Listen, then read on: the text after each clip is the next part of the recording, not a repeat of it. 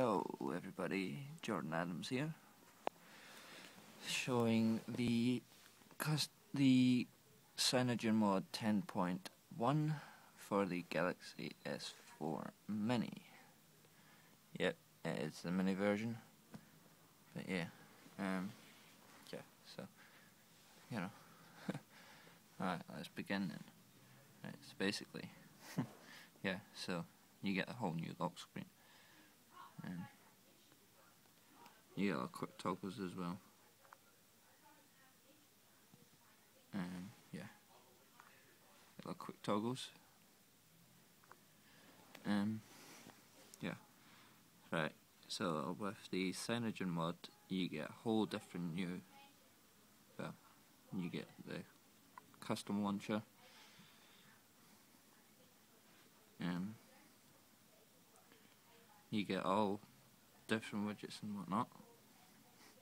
But watch out because see if you do install this, it will with the dual core with the 1.3 gigahertz now the 1.3 gigabytes of RAM data you don't get that anymore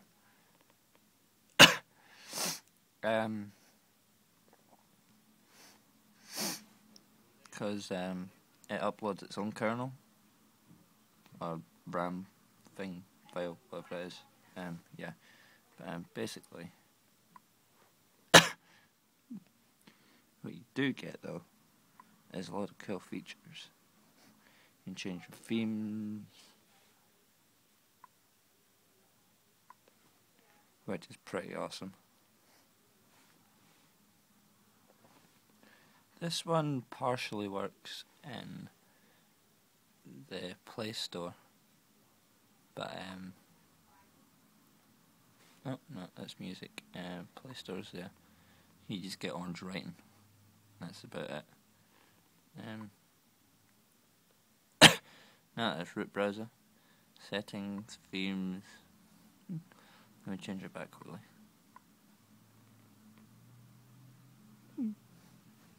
Yeah, a whole different notification center.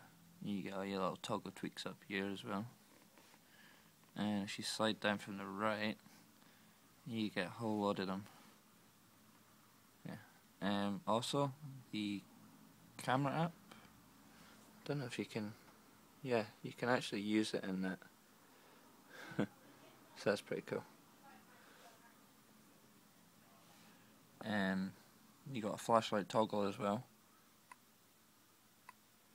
You got your Wi-Fi, your signal. There's even an LTE toggle, and also an NFC toggle.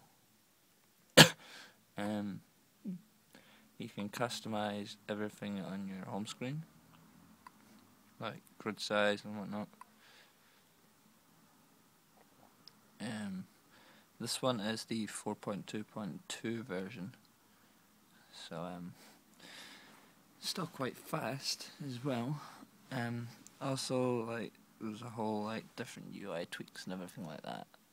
Um, all your volume keys and whatnot are changed. You get a super user app already built in. You can like set your overclock speeds and whatnot. Um,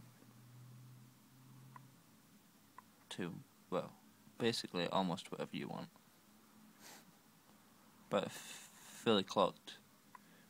Um, what else is there? Um, yeah.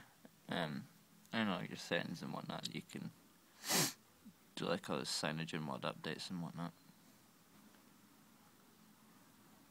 But yeah. Um, also, same things apply for that the developer mode. Um, but once you activate that, you get the performance and the developer options. So, um, yeah, it's quite cool in that. Also, like all like your battery style, you can get the other things in that. Can also hide it. You can hide that as well. Yeah? But I'll set it with that. Alright, hold on.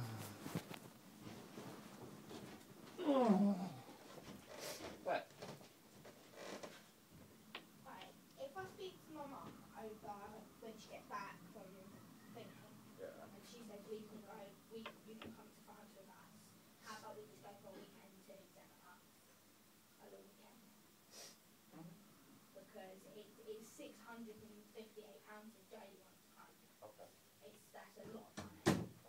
you know, I'm just thinking.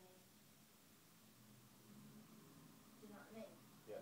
I'm thinking a weekend, you know, if we get there proper early, mm. if we get there about, if we leave here about, we leave here about six, we will get there by about nine. So we'll have all day Friday, all day Saturday, all day Sunday, all day Monday. We'll still, we'll still get our birthdays in. So I was going to say the five days, but then we might be able to go for any of our birthdays. Mm-hmm. So we'll still get, you know, we can go away for weekends.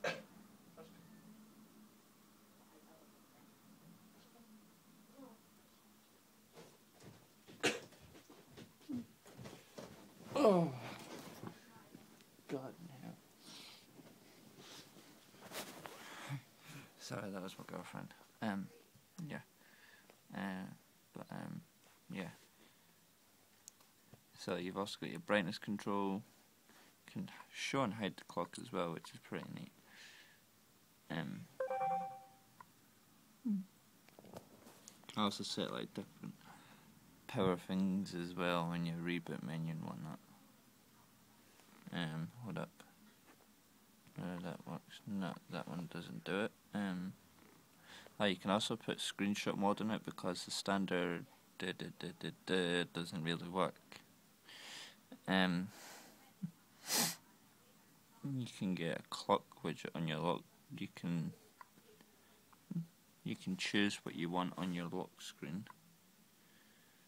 Quick settings panel. Change it all. What gonna put down? Um, let's have a look. What ones have I already got? Okay, so I put sync down there.